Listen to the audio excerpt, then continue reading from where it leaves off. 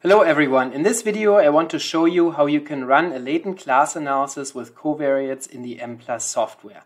Before I begin, few words about this channel. On this channel I present weekly statistics tutorials usually related to multivariate statistical methods with latent variables and often involving the MPlus software. If this is something that interests you, then please subscribe to my channel.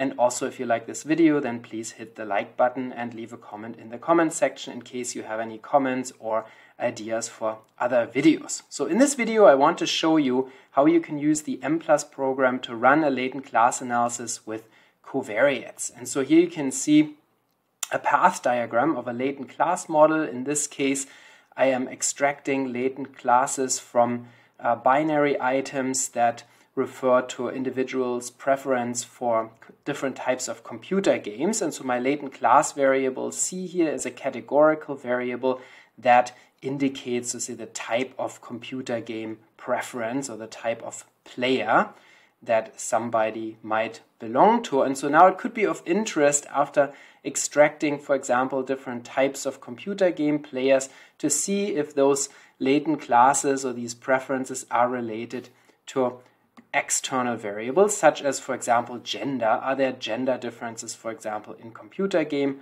preference? And if so, how is gender related to computer game um, preference? And also, there might be age differences in the class assignment. And so, we might also be interested in predicting the latent class variable by age to see if there are any age differences between the classes. And so, here I want to show you how you can very conveniently analyze a latent class model with covariates in the MPlus software. And I want to show you the input file for that. So let's go to MPlus. And so here I have an example of a three class latent uh, class analysis with the covariates age and gender. In case you're not familiar with MPlus or with how a uh, latent class analysis in general works in this program, please check out my other video on latent class analysis in MPlus in which I show an unconditional latent class model without covariates and where I discuss all the commands in detail for a latent class analysis in MPlus. You find this video in the description. And so here I'm just only going to focus on the relevant commands for adding those covariates. You can see that in my variable list I have those computer game items listed here at the end and then I also have the covariates age and gender at the beginning. Since I'm using all the variables in my names list I can omit the use variable statement in M+.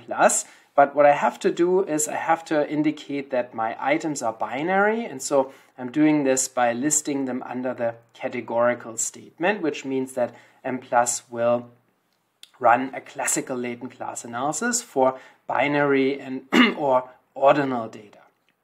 In the classes subcommand here, we specify the name of the latent class variable. So it shows the name C here and then also the number of classes. In this case, I determined that a three class model was the best model based on previous analyses and looking at fit statistics and so on. So in a first step, you would typically want to run unconditional latent class models without covariates to determine the number of classes that make the most sense for you. And then once you have figured out how many classes you need, then in the next step, you would add the covariates. That's how we typically do it, unless we have a reason to focus on a specific latent class model. If, for example, our theory already predicts that we have three classes, then we could also potentially skip the step where we run different numbers of classes. And so then we have our analysis type equals mixture. I have a setting for starting values here that allows me to try out different sets of random start values to avoid local maxima, which are often a problem with mixture models or latent class models in general. And so running many uh, sets of starting values is recommended so that you can avoid local maxima. This is not specific to analyses with covariates, that would also be the case for unconditional analyses. And then you can see that here I have a model statement with an overall subcommand, and then the statement C on age gender. And this is something that is different for an analysis with covariates. When you run an unconditional latent class analysis in M+, you don't need a model statement at all unless you're putting specific constraints on parameters of your latent class model. So, but if you don't do that, then you can com completely omit the model statement for an unconditional class analysis. But when you have covariates, then you need this model statement so that you can tell M plus which variables are related in which way. So in this case, the class variable C is regressed on age and gender. Those are the covariates. So we're predicting class membership by age and gender. And so the statement means C, the latent class variable, is regressed on age and gender. M plus will perform a logistic regression analysis in this case, specifically a multinomial logistic regression because we have three classes. So the latent class variable has three different levels. And so M plus automatically knows since this is a latent class variable, it must be categorical and the type of regression to be used is a logistic regression in this case. M plus will then give you the results for the logistic regression model using the last class as reference class in the logistic regression. Now, the last class obviously is arbitrary and it only depends on the starting values that you use. And so, therefore, M plus will also give you the results for all alternative classes as reference, at least in the newer versions of M plus, to make it convenient for you in case the reference class that happens to be, or the last class that happens to be the reference class by chance is not the one that you want.